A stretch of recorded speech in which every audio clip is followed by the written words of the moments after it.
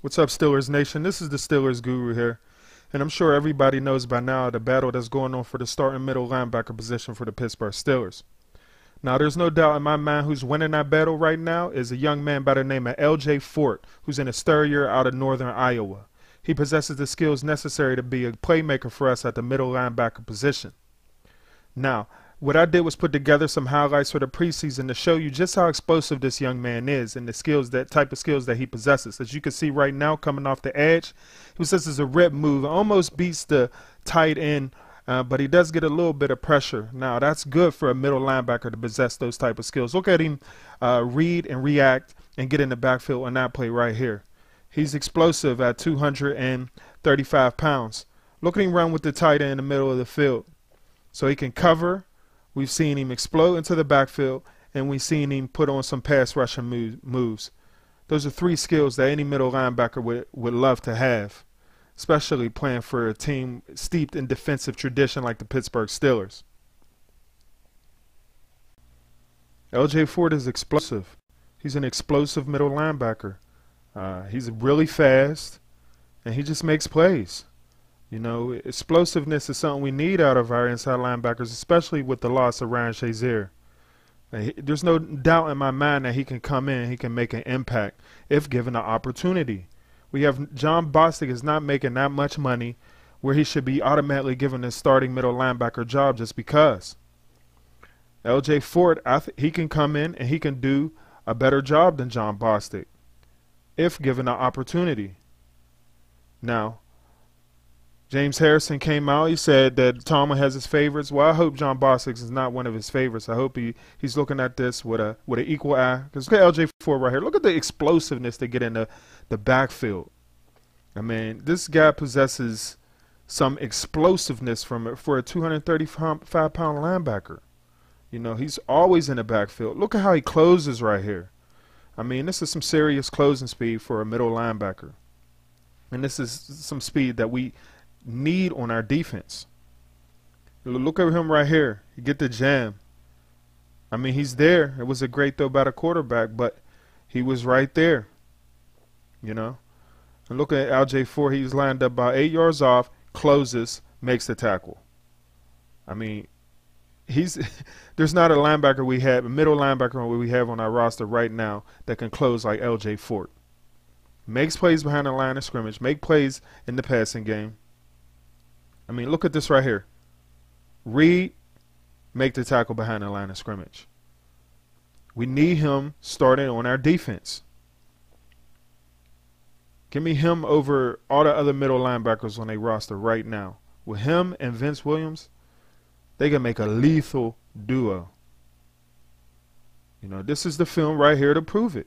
You guys see his explosiveness, the way he closes on the ball the way he can rush the passer, the way he can cover. I mean, look,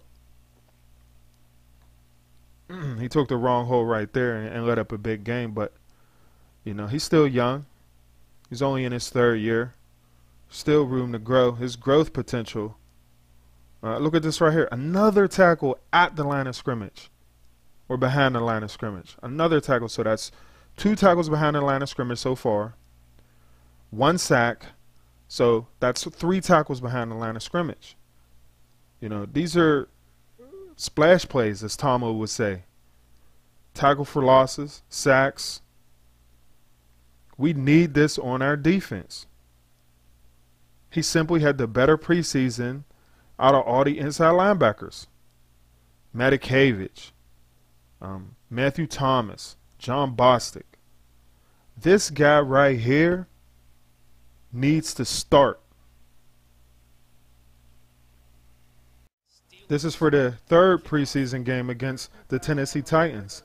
Once again, LJ Fort shows you his explosiveness, making more plays behind the line of scrimmage, showing out more than any inside linebacker that we have. You know, I don't care if you make the tackles behind the line, uh, you know, three yards past the line of scrimmage or four yards past the line of scrimmage. I want to see TFLs, tackles for losses, sacks, game changing plays that will make our defense great. Because you know, Pittsburgh Steelers defense. We all about great defense right here, baby. Number 54, check him out. He blitzed. Showed the physicalness that he took on the blocker. Number 54, another tackle behind the line of scrimmage. TFL, tackle for loss. No way, baby. This dude has to start, ladies and gentlemen.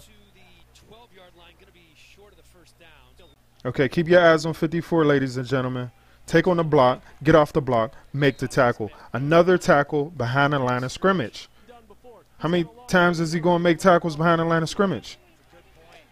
Now look at this right here. Just takes the ball. Game changing plays that we need at our inside linebacker position.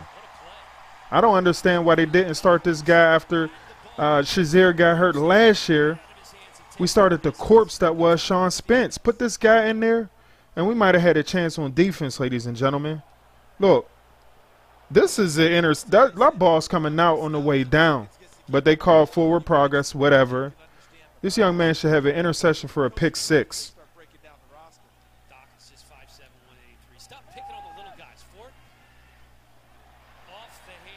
Okay, check out number 54 again.